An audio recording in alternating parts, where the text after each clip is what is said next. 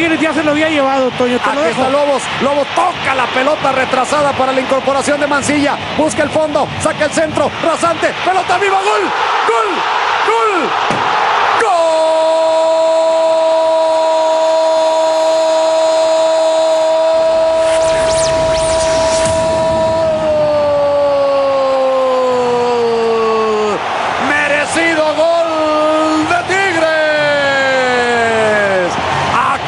Se encuentra con el bombón y no perdona. Y la empuja para poner el 2 a 1. ¡Ah, qué cosa tan hermosa! El estadio se pone de pie Roberto.